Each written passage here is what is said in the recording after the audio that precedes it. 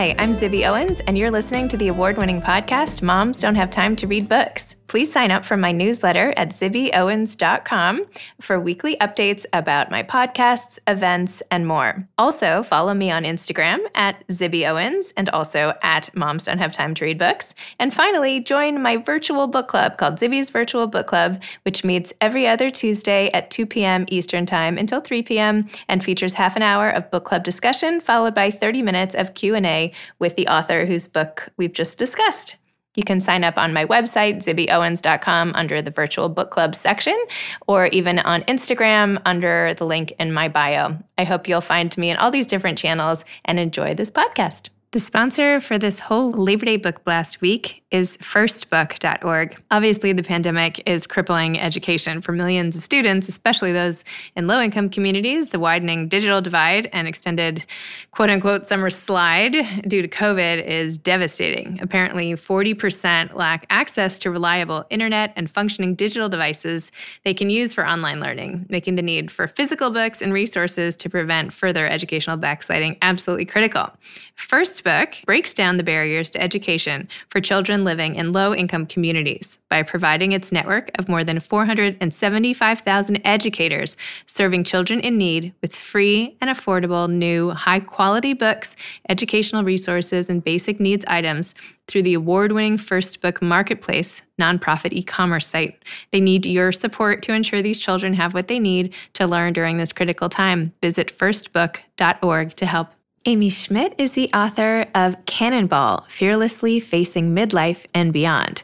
She's the host of the podcast Fearlessly Facing 50, which I was on, even though I'm only 44 right now, but that's okay. And she has a blog at fearlesslyfacing50.com. You should definitely check out all of her stuff and listen to our episode. Welcome, Amy. Thank you so much for coming on Moms Don't Have Time to Read Books. I'm thrilled to be here. Thank you, Zibby. This is amazing. Awesome. Oh, and I had so much fun going on your podcast. So it's so great to now have you on my podcast.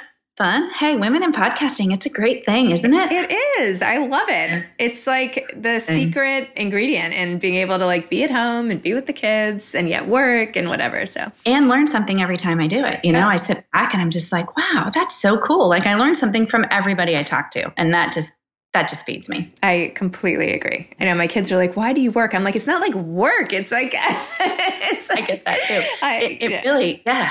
So it's, anyway, it's a funny thing. It's a funny thing. And there's no button for a podcast. What do you mean? what do you mean? said that on my podcast. You were like, I remember asking you when you started your podcast, and you were like, "Yeah, there's no button to start a podcast. You know, gotta learn it." I love that. I use that a lot, actually. Oh. I, I, give you credit, but it's oh, like that. It's so true. It's it's it does take time to learn it, but then when you do it, it's amazing. There you go. and you are like the inspiration to a whole generation, essentially, with Fearlessly Facing 50, and now the book Thank version, you. which you called Cannonball Fearlessly Facing Midlife and Beyond. By the way, in terms of fearless, the fact that you put yourself in a bathing, that's not, is that, this is you, right? Oh yeah, oh, that is me. That's the real deal. Yeah. I I don't know if there's enough money in the world that I would take to put myself from behind in a bathing suit on the cover of, of a book. I don't think I would do it. It's crazy. And I never really, we had other, you know, covers that we were thinking about. So I happened to be on vacation for my 50th right before the whole COVID thing. And I actually have my sunglasses on in that picture because just before that, my girlfriend was like, give me those because of course they're like bifocal sunglasses. They're expensive. Like I don't in.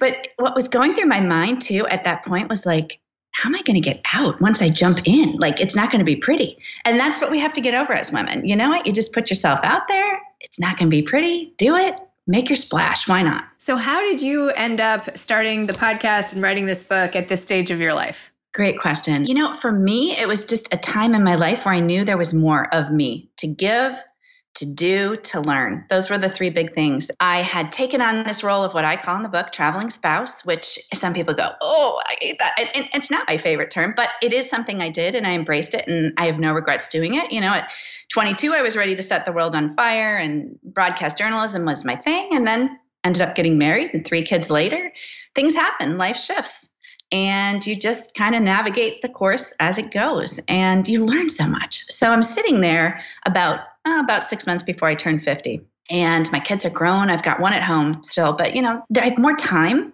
I have more experience. And every conversation I was having with everybody was the same thing aging parents, body changing, you know, like relationships changing. Now I'm sitting across from my husband a lot more than I was before because I was always going here with kids and there with kids and he was traveling. We're all talking about these same commonalities, but yet no one was really opening the dialogue and being vulnerable and putting themselves out there and saying, you know what, we, we can deal with this and build a community around it. So I went forward and launched this podcast. And like you, I had no idea what I was doing. I knew the interview part of it and the research and the guesting would be something I can do. That's something I'm, I, I've done in my past. But actually learning the technology part of it was really challenging. So that's my first, anybody listening out there, challenge yourself around learning. Continue to do that. Embrace new challenges. Take those risks get uncomfortable. You know, it's okay. And so I wanted to share my story, but more importantly, with the podcast, I wanted to open the dialogue for other women to share their stories, their journeys. And so people can sit back at the end of the podcast and say, wow, like she's inspired me to do something, to take action in some way. The story may resonate in a way personally for them, or the story may resonate with a neighbor, you know, a neighbor of theirs or a sister or so it's been awesome. And I have everybody from women that share incredible stories, journeys, and challenges that they've taken on and how they've propelled forward to experts on top of mind topics. You know, we talk about health, we talk about relationships, we talk about gray and silver divorce. It's a big deal. We talk about empty nesting, all of those things, menopause, which is like a big taboo word, which my mom never spoke to me about. I didn't even know if she had a hot flash. So we talk about all that. And then I have celebrities on as well. So it's been amazing. And like I said at the beginning, after every time, I just sit back and it's like, wow, I just learned something. So it's really been a cool journey, really has. And that's why I started it. I wanted just to change the narrative around midlife from crisis to opportunity because it really is. It's a great opportunity. It's true. By the way, did you ever connect with my friend who started This Is Brightly? Yes. Okay. Yes. Okay. I forgot to follow up. Probably should not have done this in the middle of a podcast, but no, we were supposed to meet in New York City and then literally like March 15th. So we've been just chatting virtually and it's awesome. It's an awesome, it's just awesome nice. Site. It's nice to, to know that all these resources are being developed. Like I'm, I will be 50 and oh my gosh, in six years almost six and a, yeah, and a little yeah. bit. And I'm like, I need to know that, you know, when I jump that there'll be like a soft, fluffy mattress down there to catch me. So I'm sort yeah. of like, you know, pulling these resources in close so that they're waiting for me. Not that it should be such a jump, but you know. Yeah, no, totally. No, and that's a great platform. And it really is. It's about, you know, using your resources and asking for help and using your experiences that you have and just propelling forward. It's it's it's a great I never thought at 50 I would be saying this because I can remember my mom turning 50 and standing with her, putting her her pearl necklace on and thinking, I think I was 13 wow, that's old. And I was recently asked on an interview, you know, Amy, so what, what's the next 10 years look like for you? And that was a really, wow, I'll be 60. I mean, if you would have asked me at 30, I would have said, ah, I'll be outdated. I'll be old. What am I going to be doing at 60? And now it's like I'm living my best life, you know? It's really crazy, really crazy. It's great. It's like, why? Why stop? I, I, I don't know. I feel like it's such a yeah. fertile time because women who have been like now that we're all living longer and are so well educated and trained, then yes. why not come back? It's like our brains don't go away. That's like part of why I like doing this podcast. It's like yes. just because we have kids and maybe we're at home making sandwiches every day or whatever, you know, doing the laundry and like whatever, it doesn't mean all those like interesting neurons and thoughts aren't firing all the time, right? And that we aren't still creative and wanting to contribute and helping others and all that other stuff. So it's like as soon as our kids get older, I don't know. I think it's like so exciting to have this just yeah. wave of women flourish back on the scene. You know, it's like yeah. pulling back the curtain and everybody comes like rushing out. It is. It's amazing. It really is. And I've been able to surround myself with incredible women that just keep building you up. And it's it's a cool it's a cool time. You you'll enjoy it. You'll enjoy it. I bet. It keeps getting better, you know. so let's talk more about your book. When did you decide to make it into a to make this a book at all? And then how long did it take to write? What did you do to write it? You had such a great mix. I was just telling you earlier of personal stories and yet an advice with some mm-hmm. bullet points and ways for us all to sort of conceptualize the ways to live more mindfully essentially and and then yeah. like how you did it so just tell me a little of the backstory and, and yeah great question i've always been a writer i mean i always had even in all of those years after i had my kids and during you know all of these things i would sit on boards and immerse myself in the community and do all these things but i was always writing.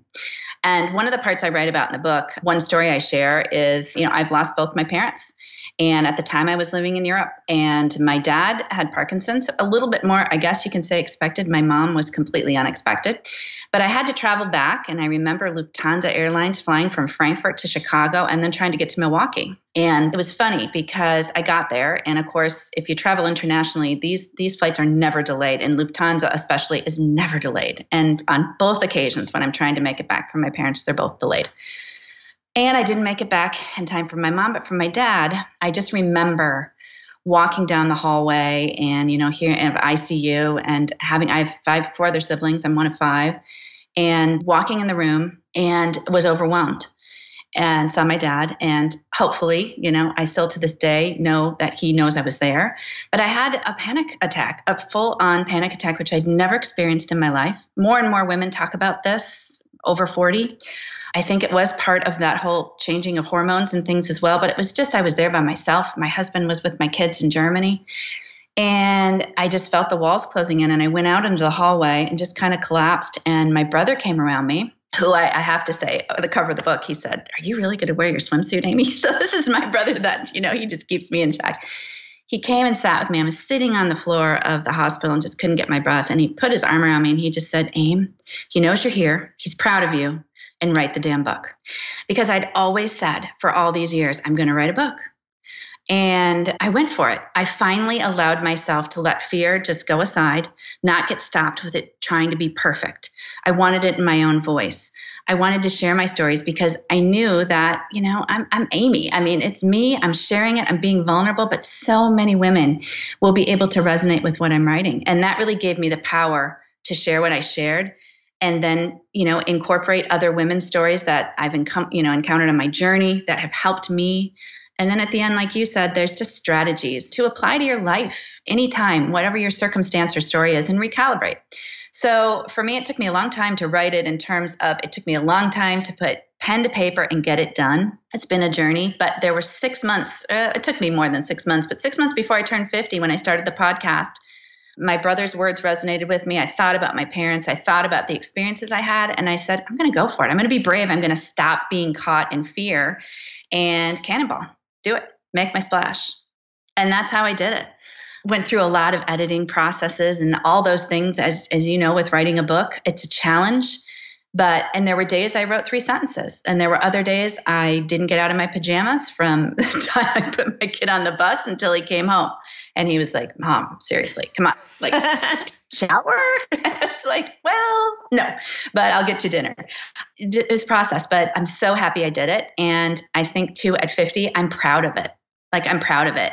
And somebody said, It's really like there's a lot of details in there, Amy. And I said, It's okay. You know, it's all right. That's what I wanted to do you have to be vulnerable. You have to be brave.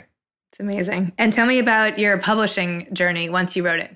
Well, I sent it off to, you know, a million I'd never done it before. And honestly, the power of Google and talking to other authors. It's like, okay, literary agents, this way, this way.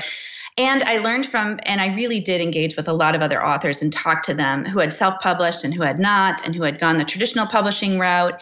I have one gentleman that I just really relied on. He, he really is a mentor for me in the business world, and he's written several books and he's self published. And he said, You know, the thing about traditional publishing is sometimes they take away your voice. And I think your book is so much you. Like you're a writer that just sits on the couch next to somebody, and that's how you feel. That's the kind of writing you have. I want it to be in your own voice. And so after many, many, many rejections from sending them out to, you know, publishers here and there, trying to find agents, midlife genre right now is huge. There's a lot of women writing about you know their journey. And i connected with Three Tomatoes publishing out of new york city who got back to me and said listen we only take so many projects a year. I love your story and i'll keep it in your own voice. And they only publish women's work over 40 and it was a perfect fit for me. She was a perfect mentor for me. It was just it's it was a really good learning process and now i'm fueled with so many tools to go forward with my next book Ooh, tell me about your next book. Mm, well, there's going to be a workbook. And then the next book is just going to be a continuation. And really, how I use what I talked about in the book, all of these reflections, and how I constantly go back and recalibrate and sit back and have to recreate my highlight reel and have to recreate my greatness statements and just continue, you know, just continue that journey. So, yeah, it, it'll be similar but different. Awesome. That's exciting. Oh my gosh. Well, some of the strategies I thought were so great, like reflections on changing your to do list to be your to be list. Mm-hmm. I know mm-hmm. that's so like minor, but so mm-hmm. hugely impactful. Like for, and you put an example to be my best, for example, to be my best, I will exercise today, as opposed to I have to just get on the elliptical machine or something. Yes, exactly. It's just a mind shift. Yeah. It really is. But these mind shifts are like, you know, the biggest difference yeah. in having a good day and bad day, honestly. I mean, that's yeah. all our minds control everything. Your greatness statement. And I love some of the ones that you put in, some of yours, for example, and you're challenging all of us to write our own greatness statements. And there aren't any rules and guidelines. You say, be certain your list will inspire you, make a copy of the list. And some of yours are love boldly, smile and laugh often, be loyal always, listen often, be a kind person, make time for your husband and partner, know you are needed in this world, trust your gut. I mean, this is good. It's great to just have it written down like your own yeah. mantra of sorts, right? Like who you are, what's important to you, because otherwise the days can just, you know, fly yeah. without you what being intentional. yeah. When you laugh, you know, when I just go and and during this whole pandemic, you know, one of the best days in Connecticut was just having my husband come around me and like just put his arms around me. And it was like, wow, like I feel great. I feel safe. I feel all those little things you take for granted. And sitting and making your own greatness statements, and especially for women, because we just don't stop and savor those moments. We just go to the next thing and we don't realize all we've done. And we do amazing things. So true. I also love how you say we can't judge the people around us without knowing their stories, and how sometimes you have to look up. And you shared a story about mm-hmm. running into a woman at the New York Public Library when you were trying to work. And at first, oh, yeah. you know, she wanted to chit chat, and you were trying so hard to focus. And then she talked about how she had actually lost her husband, and yeah. you realized that there was such a story, and you sort of like put your work aside. And now, of course, you include it in the book, so it's like it all came full circle. You're able to use it. But tell me more about that moment and and uh, the importance of sort of looking so- up you know, I, I, have goosebumps because her name is Babs. I won't spoil the whole thing, but I will just say that I was caught up and I knew I was meeting my daughter. She works in Manhattan at a certain time. I was done with a couple meetings and I had a window. And it was like, okay, Aim, this is my window. I'm putting on my headphones. I'm going to the library because it's my favorite spot in the world. And I love to write there. And I sat down and I was just in the zone. You know how we get? It's like turn my phone off and I'm like, I have this time. I need to get through this chapter and just write it. And of course, you know, you drift off and you see a couple sitting over here and you look at all these people that are coming in and and this overwhelming smell of garlic is next to me and and it ends up being the most amazing conversation. I sent her a book. It, it's for us to take time because we learn so much from other people and you never know until you embrace that moment. You know, I added value to her that day. She added so much value to me. And I could have so easily not looked up and just kept going and just saying, I got to finish chapter three. This is ridiculous. This lady's driving me crazy. I can't get past the garlic smell. Why is she moving her chair over toward me? You know, seriously, like I'm listening to John Mayer. I am in my writing zone and it's the it's one of the true gifts that I've experienced. So pretty cool stuff. That's amazing.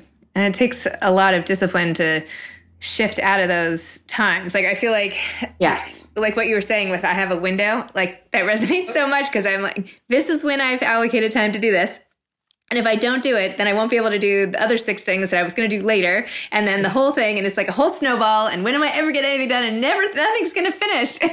and it all like weighs on you so much. And uh, uh, anyway, so I love this. I feel like I needed the story personally. So yeah, thank you. You give yourself permission to take those moments because you never know what's going to come out of them. And I hope through writing this book too, my kids see that a little bit more because you know I've I've got older kids and they're they're navigating this uncertainty right now and they're thinking about their futures and what's September going to bring? What's October? I don't think I can move back into the city until January. You know, all of these things. And it's like just embrace the moment that you're in. And that's easy for a 50 year old to say. It's not easy for, you know, to translate to a 23 year old, but it is so important to take those moments just to look up. And you never know what you're going to learn. I made an incredible new friend, and that's not easy to do at midlife. I talk about it in the book, Friendships. It's like, you know, some evolve, some evaporate, some, you know, new ones bloom. You just never know. You never know.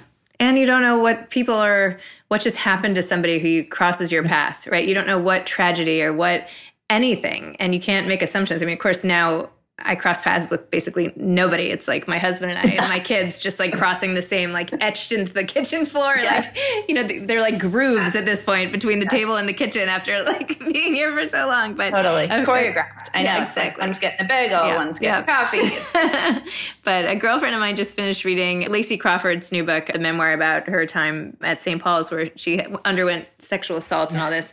And my friend actually knew her at school at a later stage of her life and felt like she had made some assumptions about her Right. without knowing her story. And she said, now reading her book, she's like, wow, I'm not going to make assumptions about anyone ever again because you don't know. so for her, that's what it took. You know, for you, it might have been, you know, a, a, an afternoon at the library, but just right. yeah. at some point, we all just have to, you know, you just don't know. I mean, it sounds easy to say, but you have to like learn it somehow yourself. So, yep. Yep. Exactly. Spot on. Anyway, so do you have advice to aspiring authors now that you've, Oh gosh. Got yes. Cannonball out into the world. And PS, I love I love my little blurb here. I was so excited when it came and you included me. So thank you. That was awesome. oh, I was I was honored. Yeah, for anybody anybody listening, just do it. You know, just do it and and don't let that fear set in. When I talk about cannonball, I always, you know, talk about visualizing myself going to the pool when you're a young kid and you're running to get to the pool at the club or at the public pool and your mom's trying to lather on you know sunscreen as quick but you're just jumping in and you're making this splash and you're saying mom watch me you know watch me again and you do it again and you do it again. And then we hit this age where we so want to jump in fearless like we used to. And we want to go to the top of that high dive and we get to about the third tier the third rung and we look up and something stops us and it's fear of perfectionism for women a lot of times. It's fear of just that power of procrastinating, of putting it off. I'll do it when I have more time tomorrow, or I'll do it when the kids get bigger. So, for anybody that's thinking about writing a book, it's your cannonball moment. That's what I call it cannonball with confidence. It doesn't have to be perfect, doesn't have to adhere to a certain timeline. Maybe you'll never finish it, but at least you started. And I think there's so much power in that. You know, get up, get dressed, get going is what I always say. And those days when you just want to pull the covers over and you want to say, oh, just make this go away, the uncertainty that's coming for all of us in the fall, navigating kids and routines and work schedules, we don't know what's coming. Get up, get dressed, get going, and just start. And maybe it's a sentence, maybe it's three, maybe you can write three chapters. Doesn't matter.